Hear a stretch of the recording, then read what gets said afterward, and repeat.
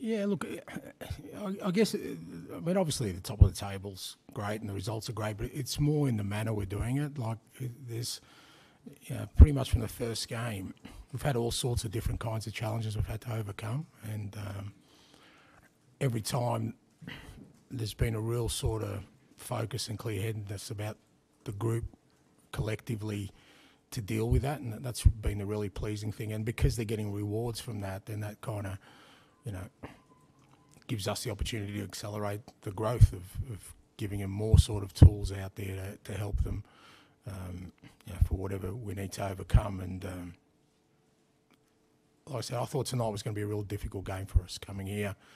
You know, Palace's result last week, you know, it's, it's a tight ground. I mean, they'd only conceded three goals in the four games so far you know, how were the lads going to cope with the fact that we probably weren't going to create as many chances as we have been? And you know, like I said I really liked the way we we um, we worked through that as a group.